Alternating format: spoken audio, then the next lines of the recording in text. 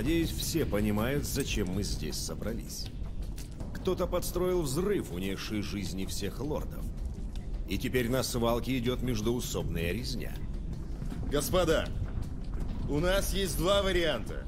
Мы можем и дальше продолжать убивать друг друга. Или мы наконец-то объединимся. Опять, опять эти разговоры об объединении. Гибель лордов еще не означает, не означает, что каждый у себя в клане не сможет навести порядок.